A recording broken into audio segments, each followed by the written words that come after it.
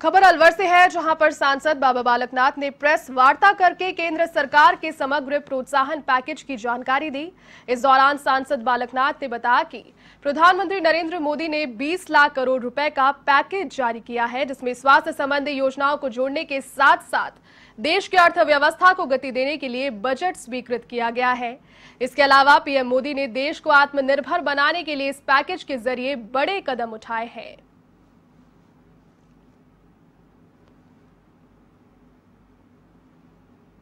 Press conference, आत्मनिर्भर भारत का जो लक्ष्य माननीय प्रधानमंत्री जी ने देश के सामने रखा है, और उसके लिए एक बहुत बड़ा पैकेज 20 लाख करोड़ का पैकेज जनता को समर्पित किया है। मैं मानता हूँ कि इस पैकेज से जनता के और भारत के उद्योग जगत को एक बहुत बड़ी गति मिलेगी,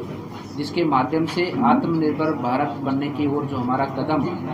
इस कोरोना संक्रमण के दौरान माननीय प्रधानमंत्री जी ने जो संकल्प किया है, उसका सपना सार्थक होता दिखेगा।